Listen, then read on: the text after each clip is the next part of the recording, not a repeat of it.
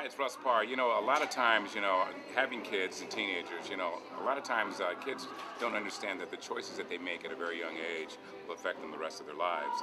And I think it's kind of important that um, a message is, is gotten to a lot of these kids that, you know, there's a game that has to be played out there. And that game is uh, basically knowing what you have to get and how to get it. You can't do it with a bad attitude. You cannot do it with, you know, like, oh, I can just cuss this person out over here and never have to see them again. It's a very small world out there. And you never know who you just crap on today that you may have to uh, sit, be, sit in front of them to try to get a job from them later. So you got to remember never to burn bridges. I think that is one of the things I really try to instill into my kids is you cannot burn bridges. And for those that don't understand what I'm saying, it's just the example that I gave you. You cannot treat somebody with disrespect and expect it not to come back on you. I truly believe in karma.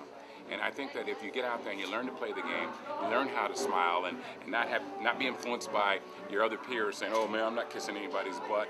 That's ridiculous. You know, sometimes, you know, you can call it whatever you want to call it. I call it getting ahead and put some money in the bank. Some people call it kissing butt. Well, listen, sometimes you got to do what you got to do in order to get to where you need to go. And I've done it my entire life. And I am not ashamed to do it. I'm not sitting in a park drinking 40 ounce and I'm not in jail. So I think that this is one of the life lessons and life choices that I had to make at a very young age. And I was glad that I had some people that be able to tell me what I'm telling you. I'm Russ Parr, I'm out.